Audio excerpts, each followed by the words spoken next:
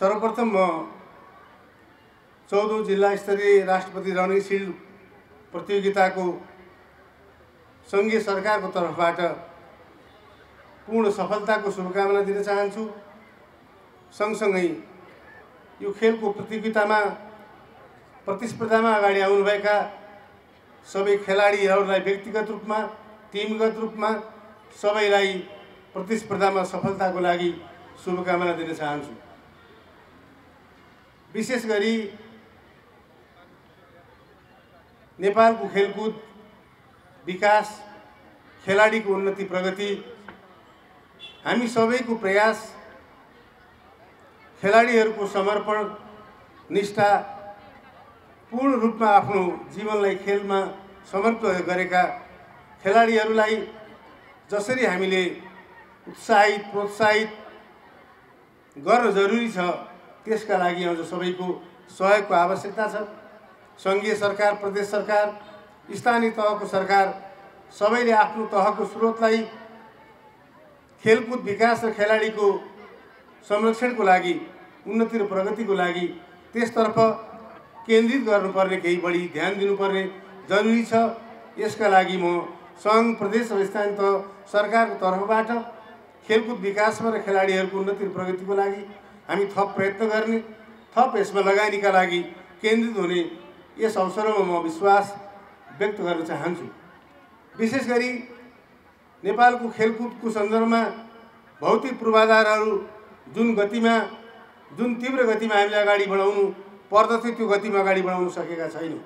त्यसैले विगतमा भएका कमी कमजोरीहरूलाई सच्याउँदै आज र भोलिका दिनहरूमा हामीले खेलकुद पूर्वाधारहरूलाई प्राथमिकतामा राखेर अगाडि लिएर जानु छ र खेलाडीहरू जुन ऊर्जा छ जुन उत्साह छ जुन समर्पण छ विशेष गरी खेलका पूर्वाधारहरू नहुँदा आवश्यक आर्थिक उपलब्धताको कमीका कारणले जति उन प्रगति गर्न सक्ने क्षमता हो त्यसमा त्यो रूपमा अगाडि बढ्न नसकेको कुरा हामीले स्वीकार्न जरुरी छ र त्यसका लागि हामी सबै समर्पित भएर अगाडि बढ्ने प्रतिबद्धता गर्न जरुरी छ।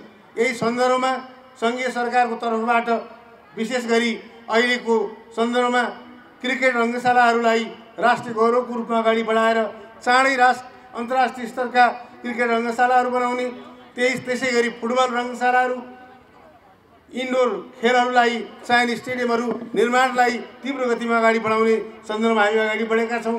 त्यसै गरी प्रदेशका सरकारहरूको तर्फबाट स्थानीय तहले पनि आफ्नो तर्फबाट सक्दो प्रयत्न गरिरहेको सन्दर्भमा फेरि पनि हामी एकताबद्ध भएर सङ्घ सरकार प्रदेश सरकार स्थानीय तह सरकार एकताबद्ध भएर खेलकुदको विकास उन्नतिको लागि भौतिक पूर्वाधारको विकासको लागि खेलकुद सामग्रीको लागि खेलाडीहरूलाई प्रोत्साहित गर्नका लागि सेवा र सुविधाहरूलाई बढाउनुको लागि हामी एकताबद्ध भएर अगाडि लाग्नु छ।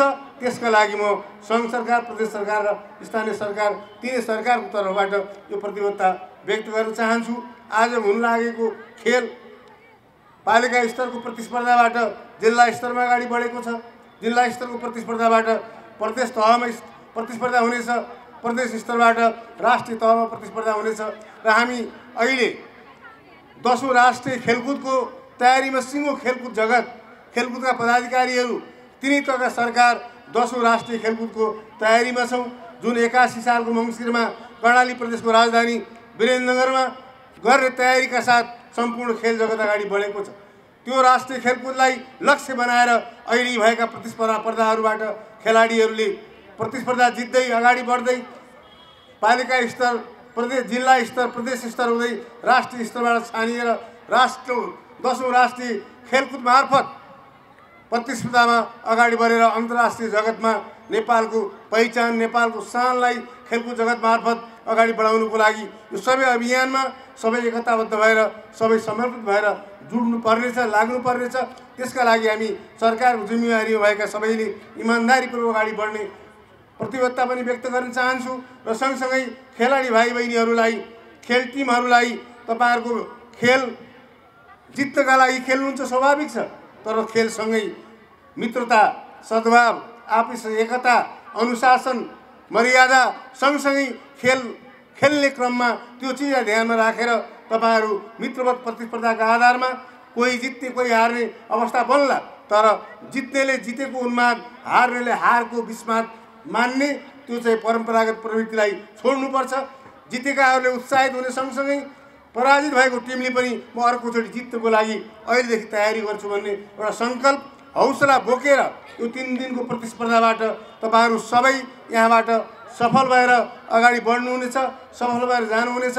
आयोजकहरूले पनि सम्पूर्ण तयारी जसरी गर्नुभएको छ यसका लागि म आयोजकलाई पनि विशेष धन्यवाद दिन चाहन्छु र यो महत्त्वपूर्ण अवसरमा मलाई सम्झिनुभयो मलाई आमन्त्रण गर्नुभयो। त्यसका लागि जिल्ला खेलकुद सङ्घ ललितपुरलाई आभार व्यक्त गर्न चाहन्छु र विशेष गरी यहाँको खेल जगतमा सबैले अत्यन्त मन पराउने खेल जगतलाई नै आफ्नो जीवन सम्झने हाम्रो मिन कृष्ण मान्यजी र विनोदजी लगायतका अग्र खेलाडीहरूले यी सबै कुराहरूलाई विशेष गरी ललितपुरको माटोमा भए पनि राष्ट्रिय रूपमा प्रादेशिक रूपमा अन्तर्राष्ट्रिय रूपमा खेलाडीहरूलाई अगाडि बढाउनुको लागि जुन योगदान दिनुभएको छ त्यो योगदानका प्रति उहाँहरू सबैलाई सम्मान व्यक्त गर्दै सम्पूर्ण खेलाडीहरू खेल जगतको सफलताको शुभकामनासहित म तपाईँहरूसँग बिदा हुन्छु।